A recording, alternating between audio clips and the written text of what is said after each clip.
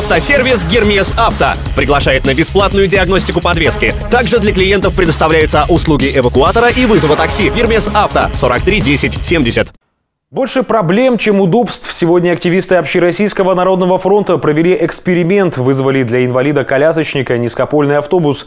Неделю назад городские власти объявили о том, что инвалиды, мамы с колясками и другие маломобильные люди смогут позвонить в автотранспортные предприятия и заказать низкопольный автобус на любое время. Но на деле оказалось, что э, в новой услуге больше проблем, чем удобств.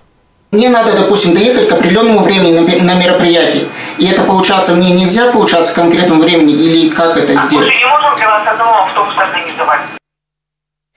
Договориться с диспетчером АТП о новой услуге Илье Сазанову оказалось непросто. Пришлось долго объяснять, что автобус нужен в определенное время в определенном месте.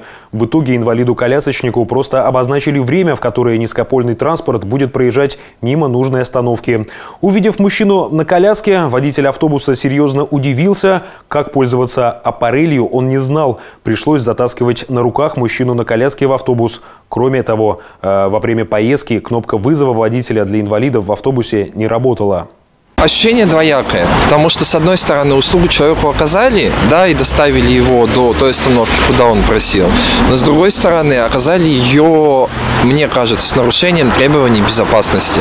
Особенно в пятом автобусе это было, ну, действительно страшно. Я не, не знаю, испугался ли герой, но как бы вот мне со стороны было страшно, и в какой-то момент я думаю, просто коляска прикинется.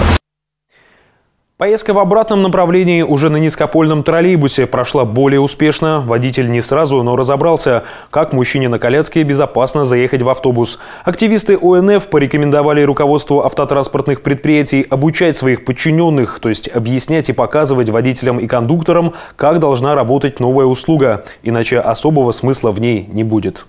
Подорожают мясо и молоко. Эксперты озвучили прогнозы о том, как будут меняться цены на самые ходовые продукты в 2020 году. Впрочем, Министерство труда и соцзащиты пока на эти прогнозы внимания не обращает. В ведомстве говорят, что в прошлом году цены на многие продукты снизились, а значит можно снижать и прожиточный минимум. По данным РБК, мясо и молоко в 2020 в среднем могут стать дороже на 10-12%. Это может произойти из-за роста издержек производителей. В частности, на мясо и молоко будет введена цифровая маркировка. Это дополнительные затраты, которые повлияют на себестоимость. Некоторые эксперты считают, что повышение цен на молоко приведет к дальнейшему снижению спроса. А вот цены на свинину, по мнению экспертов, в этом году будут ниже прошлогодних на 5-7%. Что касается птицы, то ее стоимость останется на прежнем прежнем уровне. Несмотря на прогнозы, Министерство труда и соцзащиты предложило снизить прожиточный минимум в среднем на 3%. В ведомстве считают, что это можно сделать потому, что в прошлом году многие ходовые продукты питания стали дешевле.